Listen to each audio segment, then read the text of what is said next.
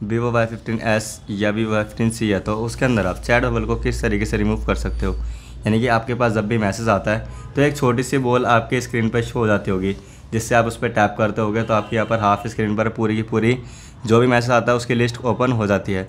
तो उससे कई बार हमको बहुत प्रॉब्लम होती है, जैसे हम कभी गेम में होते हैं तो वो उसको ओपन कर देते हैं, गलती से हमारी फिंगर टच हो जाए तो हमारी ओपन हो जाती है तो हमारी गेम कभी कभी बैक भी हो जाती है। तो उससे में काफ़ी प्रॉब्लम होती है। अगर आप उसको रिमूव करना है तो उसके लिए आपको यहाँ पर मैस के आइकन पर टैप कर लेना है। उसके बाद आपको यहाँ पर इस वाले आइकन पर टैप कर लेना है। जैसे कि मेरे यहाँ पर फ़ोटो शो हो रही है। आप इस तो इस तरीके से अगर आपकी फ़ोटो शो हो रही है तो आपको उस पर टैप कर देना है। आपके में कुछ भी कोई ऑप्शन शो नहीं हो रहा, अगर खाली एक मैन का आइकन शो हो रहा है, उस पर बस आपको टैप कर देना है। टैप करने के बाद आपको यहाँ पर मैस सेटिंग पर टैप कर लेना है। उसके बाद आप यहाँ से नीचे जाओगे। इस तरीके से सॉरी रिसेंटली आपको यहाँ पर चैट बबल का ऑप्शन शो हो जाएगा, इस पर टैप कर लेना है। उसके बाद यहाँ पर आप देखते हो हमारे बबल्स का ऑप्शन अभी सेट है। तो हम इसको रिमूव करने के लिए हम यहाँ पर नथिंग कैन बबल पे टैप कर देंगे। और आपके पास अब जब भी मैसेज आएगा तो वो बॉल से शो नहीं होगी। आपने काफ़ी बार देखा होगा बॉल से शो जाती है।